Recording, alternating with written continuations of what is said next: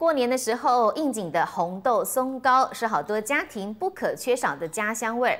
在新北市永和这一家已经有六十年历史的松糕老店，每次过年的前一个月就会家族总动员，还要做临时任务编组。而大家长呢是一名袁奶奶，她已经高龄八十五岁了，在她的监工之下，晚辈们慢工细活儿，做出了这一个个 Q 弹又有嚼劲的松糕。有的饕客呢，为了这一味，还专程从美。国赶回来，过去也曾经发生有外交部长说没吃到松糕，竟然不肯上飞机的状况。这个隐藏在巷弄内的团圆美味，一年呢也只有这个时候才能够品尝得到。要烧三个，这里三个，今天要做八个嘛，然后让这家把他要的豆沙，豆沙。人家爱吃是因为这个豆沙会爆浆。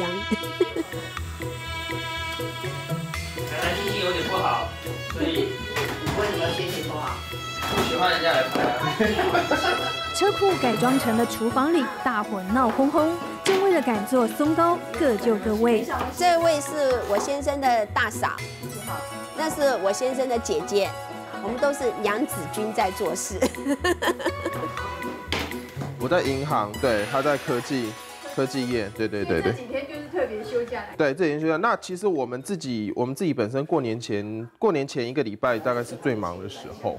有的是上班族，有的是家庭主妇，这些杂牌军到了快过年时，又紧急任务编组，成了专业的松糕团队。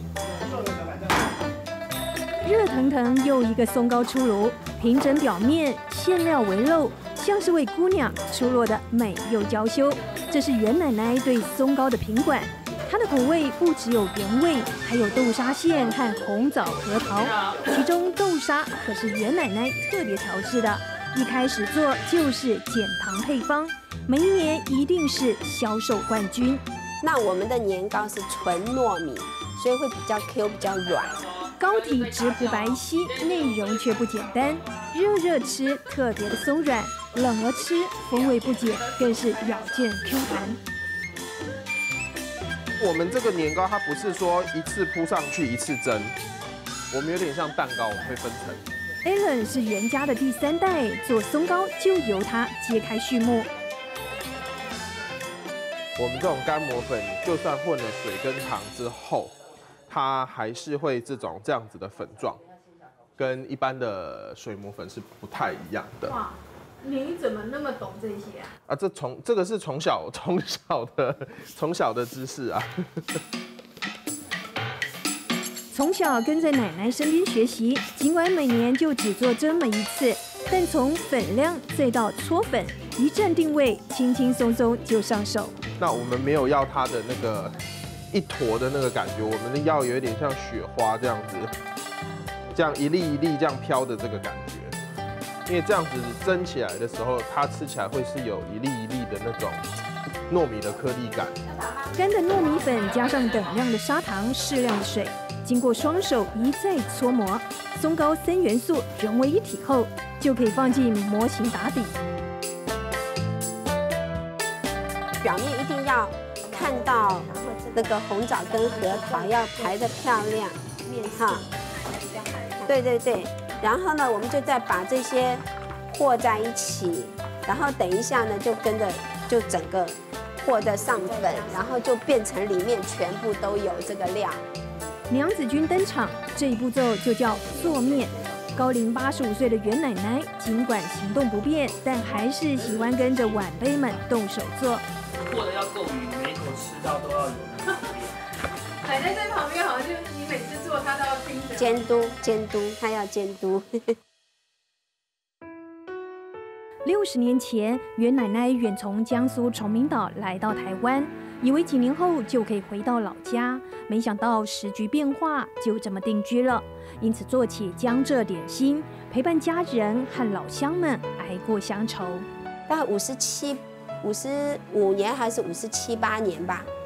那个时候，呃，因为朋友吃了很多年，亲朋好友吃很多年，就觉得说啊不好意思，所以说要花钱买。啊，从那个时候才开始做年糕的卖给他们吃。啊，结果他们买了就送给亲朋好友，结果大家都爱吃，所以才会累积了就越来越多的，越来越多的人。哎，刚到，都在这儿啊。才说着，这回真的有人进门了。你好，嗨，你好，你好。哎呀，没有，他出来了，今天上来看电视。真好。他他从美国回来，我哥哥的同学。牟大叔昨晚才从美国回来，今天立刻来袁奶奶这报道。我吃了高大叔了，吃了呃，到现在吃了五十七年了。哦，五十七年呢。这松糕是什么样的滋味啊？这个是世界仅有的，全世界人都找不到的。不管住得多遥远，成长拼图里就是少不了这一块。有着牟大叔情怀的政界达官贵人大有人在。以前那个宋美龄女士也是喜欢吃，然后后来还有什么沈昌焕，那时候以前的外交部长，我妈说他呃要出国上飞机以前都要来吃了这个年糕才要走。袁奶奶从青丝做到了白头，当年吃的人尽管逐一退出人生舞台，但糕点的美味继续飘香着。开气起来，妈主要是用气蒸汽把那个粉蒸熟，所以它等到气气开始上来，就表示可以再上下一层。科技业的阿红是袁奶奶的外孙，他也是特别请假回到家里做糕。当娘子军把第一层糕体做完后，就交棒给他，放上炉子蒸熟，并继续添第二、第三层的料。得如此麻烦，就因为要把糕体彻底蒸熟。你也经验丰富哎。我也说十年有啦，对吧？这个台面你一次可以顾几锅？四锅。三到四啊，可以啊。没有瓦斯的年代，用的是木炭和煤球，现在做来轻松多了。第三代加入帮忙，开始用电脑记录订单。比起婆妈画正字记号，一会儿多一个，一会儿少一个，更加精确。但有些还是得靠经验。要力气，不用功夫，要力，因为危险。我们奶奶说怕油往里面翻的话，不会打到洒了往自己身上打，所以不能往里面翻，要往外面翻。然后很怕就是对对。以前小时候倒扣是我们从国小时候开始做。手工生产线一旦开机顺畅，松糕七分钟就可以完成，一个又一个沉甸甸的、扎扎实实的有三斤重，上面会印上五福捧寿，既吉利又喜气。今年不是二月才要过年吗？他十一月就跟我讲。你要去买枣子了，我说还早哎，不需要那么早吧。只要有人打电话来跟奶奶说要吃，奶奶就开始着急了。位处永和狭小巷弄里的首座松糕，过年前三周才开卖。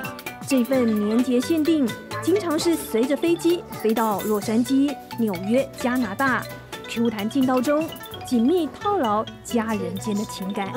蛮感恩，然后就觉得这个是一个传承呐，应该是算一个传承呐。要是没有做的话，就没得吃啦。